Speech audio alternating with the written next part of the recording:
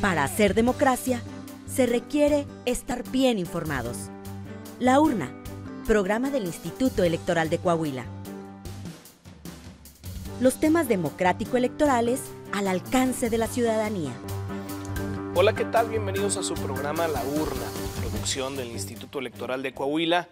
Como siempre, les saludamos y le invitamos a que se quede con nosotros protagonistas de la vida democrática de Coahuila y de México en comunicación directa con usted. La entrevista.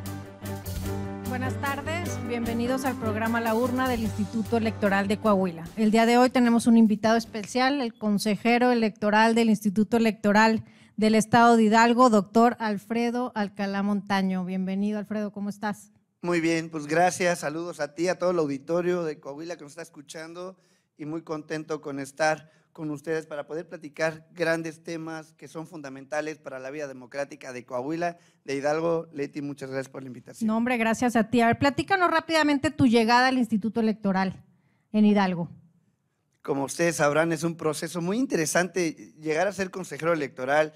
Yo les diría que ha sido un proceso, o fue un proceso de siete meses, pero en realidad ha sido una historia de vida, debo comentar que desde que era observador electoral y cuando fui a solicitar mi registro al Instituto Electoral de Hidalgo, eh, soñaba con estar en el Instituto Electoral como consejero electoral y al paso del tiempo, 20 años, se fue logrando. Yo era muy joven cuando empecé en la vida electoral. Después fui consejero distrital por parte del INE en Hidalgo y consejero local. Y la llegada justamente se va dando a través de un proceso, por eso digo una historia de vida, porque más allá del proceso formal de, selección del Instituto Nacional Electoral, que implica el examen, el ensayo, la entrevista, pero en realidad cuando uno ve y mira hacia atrás, se da uno cuenta de que hay una historia detrás para ser consejero y por eso es bien interesante y por eso uno valora justamente lo que implica, lo que está detrás de cuando uno agarra y va a la urna a la mampara y vota. Atrás hay un ejercicio muy interesante y eso es lo que uno ha visto desde que era observador electoral, la motivación de la ciudadanía, de las y los funcionarios de las mesas directivas de casilla, el contar los votos, el escrutinio y cómputo, vivirlo, verlo, ser parte de, esa, de ese proceso es bien interesante y cuando conocí la experiencia de Coahuila, la Ciudad de México, Jalisco con el tema del horno electrónica. Desde el 2015 yo por ahí daba algunas declaraciones diciendo, tenemos que modernizar el sistema electoral y tenemos que avanzar hacia la implementación del horno electrónica.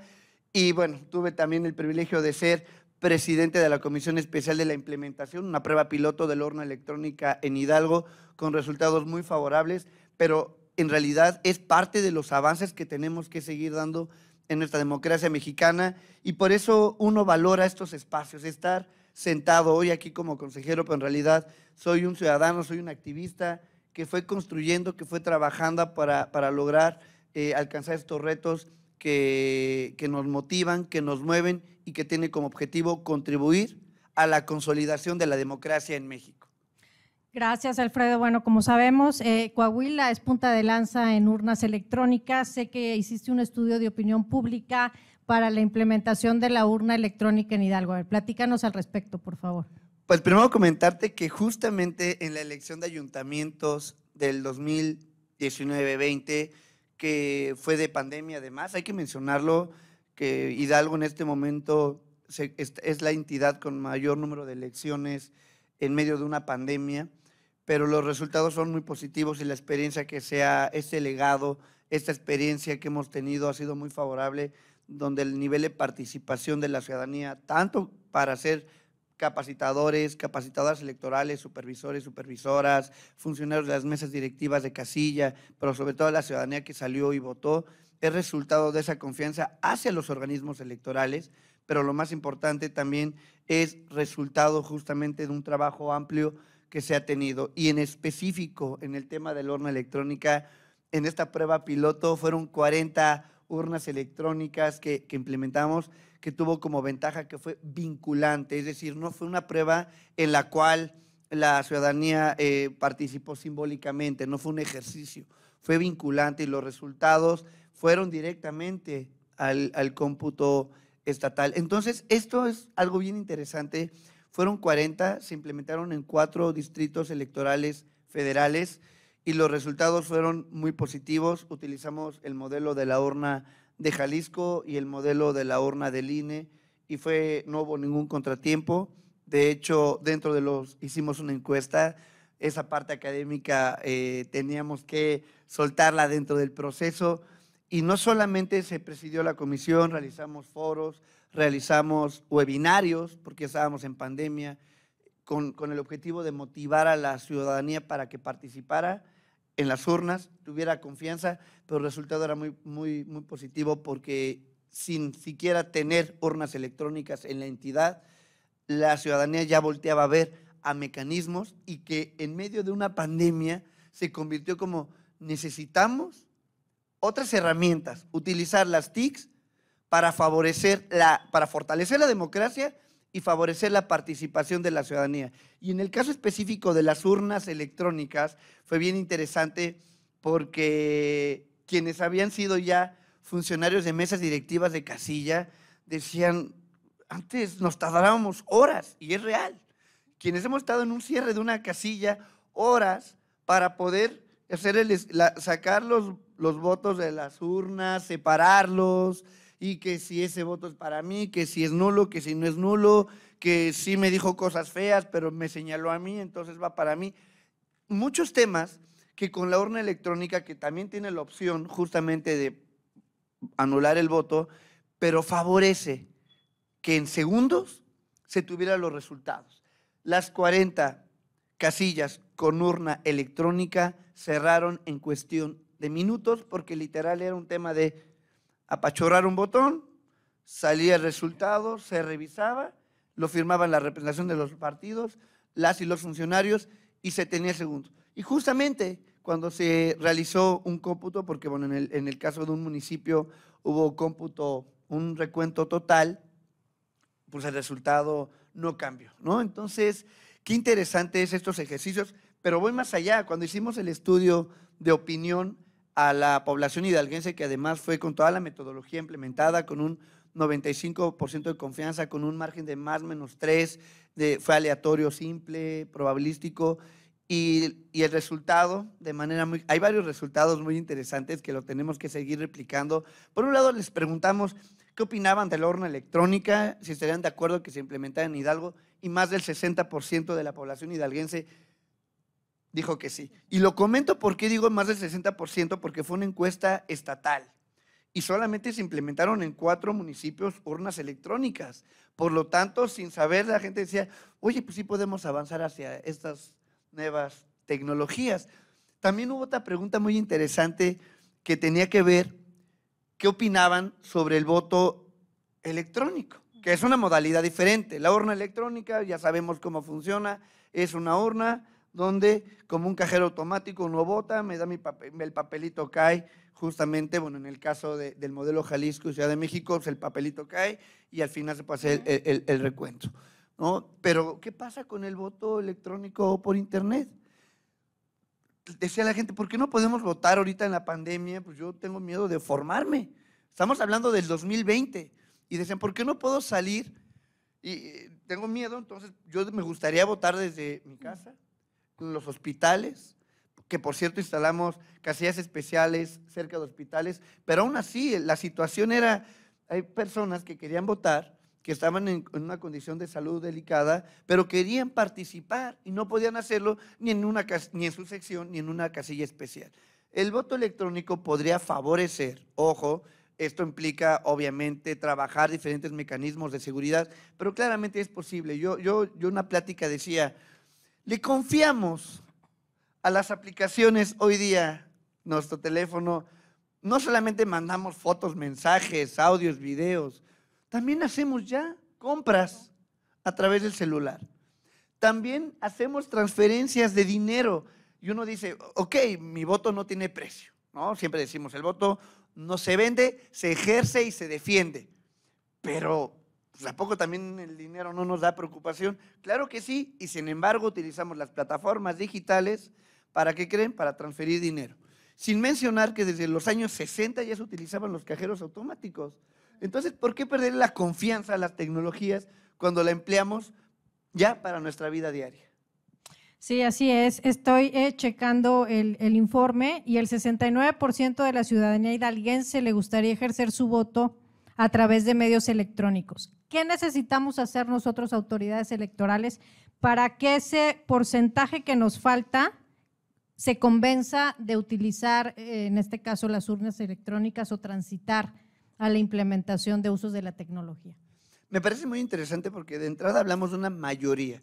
Estos, estos estudios los debemos de seguir replicando en las 32 entidades a nivel nacional, propiamente dicho, para ver cuál es el pulso de la ciudadanía, sobre todo que venimos o estamos todavía en medio de una emergencia sanitaria y esto nos, nos, implica replantearnos el modelo electoral, eso es lo interesante.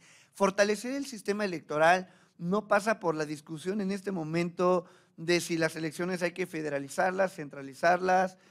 La discusión pasa de cómo favorecer la participación de la ciudadanía en las elecciones. En lo particular, creo que ahí debería de estar el eje transversal de una futura y posible discusión de reforma electoral. Cómo fortalecer la participación de la ciudadanía en los procesos electorales. Y que además esto dé pie para fortalecer la democracia representativa, pero que nos dé pie a fortalecer y avanzar hacia una democracia participativa. Porque justamente en este estudio no me quedé corto. Además, eh, ya tenía yo todo el tema de la tesis del doctorado y fue, ¿y por qué no favorecer las tecnologías? ¿O cómo no utilizar? ¿Por qué no utilizar las tecnologías de información y comunicación para favorecer la participación en el proceso de toma de decisiones? Y entonces consolidamos la democracia, no solamente la democracia electoral, no solamente esa participación electoral, sino la participación de la ciudadanía en lo más importante, en el proceso de toma de decisiones. Y que hoy lo veríamos. ¿Qué pasaría si para ejercicios como consulta popular, revocación de mandato y hasta elecciones, utilizáramos las tecnologías, utilizáramos la participación digital, ¿no? Utilizamos este voto electrónico por internet. Ya tenemos el voto postal anticipado. Pocas personas que cuestionan el tema de la urna electrónica y es que qué va a pasar. De entrada, como sabemos, las urnas electrónicas ni siquiera tienen conexión a internet, ¿no? Esa, es de entrada, ¿no? Eh, ningún mecanismo electoral infalible no lo es, pero sí son perfectibles. Y claramente nuestro modelo electoral puede modernizar, modernizarse utilizando las tecnologías. Entonces, sí me parece un dato bien interesante. ¿Qué tenemos que hacer? Seguir realizando estudios diagnósticos para que además de esta manera, las y los legisladores volteen a ver la importancia que tendría, no solamente para los organismos electorales, para la democracia, para sus propios partidos que pudieran realizar ejercicios internos de consulta hacia su electorado, en las presidencias o en los ayuntamientos propiamente dicho, en las escuelas, en, en, las autoridades auxiliares, que en muchas entidades tienen autoridades auxiliares, qué interesante sería utilizar mecanismos que en segundos pudieran tener resultados y que pudieran favorecer, sin tener que hacer un gran despliegue que, se va a tener que realizar en algunos ejercicios, como en unas elecciones, pero para otros ejercicios de consulta se podría favorecer con las tecnologías justamente la participación de la ciudadanía. Muy bien, Alfredo. Vamos a hacer una pausa y continuamos platicando en el programa La Urna.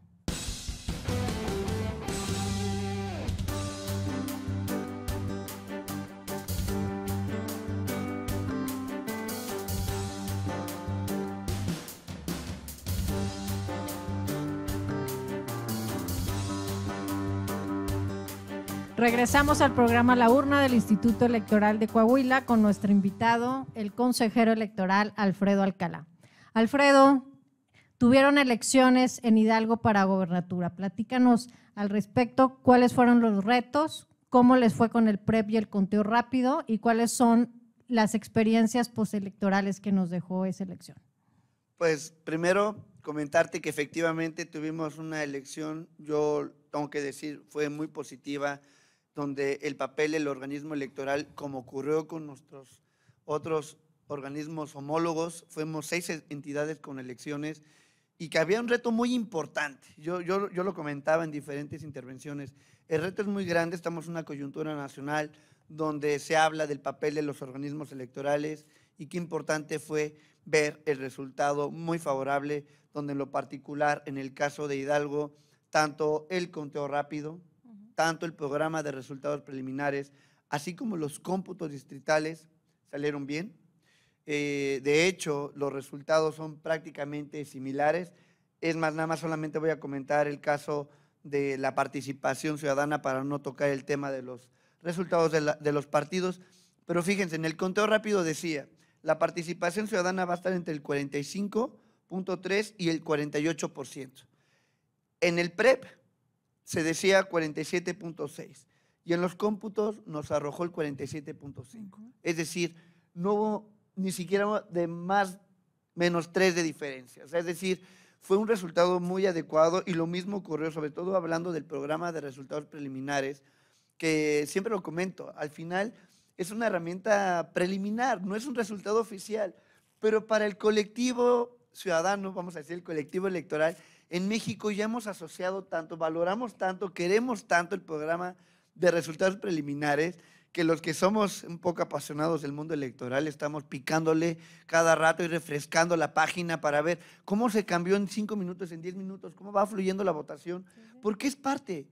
Aunque, insisto, no es un resultado oficial. De hecho, los cómputos distritales no son todavía un resultado oficial. Faltan las impugnaciones, la calificación propiamente ya de las, de las elecciones por parte de las autoridades jurisdiccionales, es decir, de, los tribunales electorales, propiamente dicho, para la ciudadanía. Entonces, vean cómo es importante, al final, por lo menos por la certeza, que funcionen y funcionen muy bien, como lo hemos hecho nuestras herramientas. Y, así, así ocurrió, con todo rápido, PREP y cómputos funcionaron muy bien y eso le dio certeza a la ciudadanía, resultado, y eso ayuda a fortalecer la confianza hacia los organismos electorales, porque claramente hoy día el papel de los organismos electorales es importante, es fundamental y no podríamos entender en la actualidad un proceso electoral sin la importancia, sin la autonomía de los organismos electorales locales en específico. ¿Por qué, ¿Por qué menciono en específico? Porque la democracia se construye desde lo local y hemos tenido una muy buena, eh, un trabajo muy importante en conjunto con el Instituto Nacional Electoral, como ha ocurrido con los diferentes eh, OPLES del país, con los 32. Ha habido una muy buena coordinación y eso ha permitido que las elecciones se organicen con toda la pulcritud, cumpliendo con toda la parte formal, pero sobre todo garantizando la confianza de la ciudadanía y eso me parece que debemos de rescatarlo. Creo que las elecciones de 2021 fueron muy importantes, muy relevantes, porque también fueron en medio de una pandemia pero además, estas elecciones, estas seis elecciones de seis, entidades, nos permitieron ver que los institutos electorales, tanto nacional como locales, estamos fuertes y somos un ejemplo y una garantía de que voto cuenta y se cuenta y así va a ocurrir el siguiente año en Estado de México y, evidentemente en Coahuila. Muy bien, Alfredo. platícanos qué retos tuvieron en este proceso electoral. En un primer momento, la integración de los órganos desconcentrados, eh, actualmente en Coahuila está abierta la convocatoria para integrar los comités municipales y distritales. Platícanos cómo les fue en ese proceso en Hidalgo y por qué es importante que la ciudadanía participe en la integración de estos órganos. Primero comentarte que yo cuando entro ya al Consejo General ya estaba la convocatoria, de hecho ya a ser propiamente las entrevistas, ya había, ya había pasado el examen, pero con esta experiencia eh, el llamado y el mensaje es participemos. A las y los ciudadanos de Coahuila, participen, intégrese, anótense. No olvídense ahorita si cumplen con el currículum, qué tanto han hecho en materia electoral. La ciudadanía la tenemos que construir desde abajo, desde ser observador electoral, desde ser funcionario, funcionaria de las mesas directivas de casilla, pero también pueden serlo desde los organismos desconcentrados y es importante que no dejen pasar esa oportunidad, siempre lo he dicho, no dejemos en otras manos la oportunidad de poder consolidar nuestra democracia y decidir a quienes queremos que nos gobiernen y nos representen. Y qué mejor que hacerlo desde el lado del árbitro electoral. Y por eso es bien importante, allá la experiencia fue, la gran mayoría, el 60% de quienes integraron los órganos desconcentrados fueron mujeres. Y más de la mitad fueron jóvenes. Fueron, fueron juventudes quienes integraron. Espero que esa no sea la excepción en Coahuila y que mujeres, las juventudes y toda la ciudadanía se anote, se inscriba, que, se involucre en este proceso electoral desde ahora, que se vayan involucrando, que vayan siendo partícipe de esta elección, que va a ser muy importante. Toda elección, toda elección para quienes nos apasiona el mundo electoral, toda elección es importante y nos deja lecciones que tenemos que canalizar y esto creo que no va a ser la excepción en Coahuila, donde además es la antesala junto con el Estado de México para la elección presidencial. Por lo tanto, ya vamos a ir encarrerados como sociedad mexicana. La expectativa a nivel nacional, los ojos van a estar puestos, es más, vamos a estar seguramente aquí en Coahuila como observadores electorales, porque va a ser muy interesante ver cómo se está, eh, cómo se están llegando justamente al 24, por eso la invitación a que sean partícipes de las elecciones y lo hagan desde los diferentes espacios. También lo pueden hacer votando, pero ya vimos que no solamente puede ser votando, también puede ser participando dentro del Instituto Electoral de Coahuila. Así es, efectivamente las elecciones las hacemos todos y todas. Otro reto que tuvieron fue la organización de los debates para gobernadora o gobernadora de, de Hidalgo. A ver, platícanos, ¿hubo alguna comisión? ¿Cuáles fueron los retos, los obstáculos? ¿Qué aprendizaje tuvieron de la organización de los debates en Hidalgo? ¿Qué te puedo decir? Hasta me emociono. Eh, la Comisión Especial de Debates que tuve el honor de presidir, eh, hicimos algo histórico, y lo digo histórico porque fuimos rompiendo paradigmas. La idea era seguir generando este vínculo con la ciudadanía, fortalecer el vínculo entre el organismo electoral y la ciudadanía. Por ello, los temas que se debatieron los pusimos a consideración de la ciudadanía a través de una plataforma digital. Perdón, pero las plataformas digitales, las tecnologías me gustan mucho porque tenemos que utilizarlas para favorecer la participación. También lo mismo para la elaboración de las preguntas, eh, las preguntas nos las enviaron las y los ciudadanos hidalguenses, de las cuales surgieron justamente nuestro formato de debate, que por ley son tres debates. Eh, el formato, bueno, fue un formato muy interesante que además también fue, fue, replicado ya en otros, en otros espacios. Contaba con tres bloques, no hubo presentación, por ejemplo, para que fueran directas las preguntas detonadoras y de esta manera pudiera fluir la discusión, el diálogo donde las candidaturas respondían a una pregunta de la ciudadanía y esto generaba, eh, pues, generó expectativa entre, entre la ciudadanía. Eh, tenemos que seguir generando y mejorando los formatos, claro, y tenemos que, que mejorar los formatos de debate. Tenemos, en México estamos apenas en este proceso eh, nuestro primer debate formal organizado por un organismo electoral en Hidalgo fue en el 2015. Entonces llevamos apenas siete años en experiencia en materia de debates y, y ha sido muy significativo que la clase política también ya ha ido retomando y ha entendido también la importancia de participar en los debates. No, no me voy a ir a aquel debate histórico de los años 60 con John F. Kennedy y Richard Nixon, que fue el primer debate televisado. Nosotros, nuestro primer debate televisado fue 30 años después, en 1994, en la elección presidencial. Es decir, eh, venimos ahí, venimos correteando eh, esta, estos ejercicios democráticos pero que son bien valiosos, son bien importantes y que para Cahuila va a ser fundamental los debates. Desde ahora va a ser muy importante ir haciendo estos ejercicios para involucrar a la ciudadanía. ¿Para qué? Para que se involucre también en los ejercicios de debates, que eso le va a permitir tener otra visión, otra idea de las candidaturas, porque pueden estar conociendo, conoce a tu candidato, la 3 de 3 si es que lo aplican, también pueden conocer los discursos de campaña, las plataformas electorales, pero verlos en un debate, ver las contestaciones, eso nos da otros insumos para trabajar algo que estamos convencidos quienes estamos dentro de los organismos electorales, que es seguir impulsando y favoreciendo el voto libre, informado y razonado. Sí, efectivamente coincido contigo, Alfredo. Los debates son una herramienta indispensable para que la ciudadanía conozca a los y las candidatas que buscan el voto de la ciudadanía.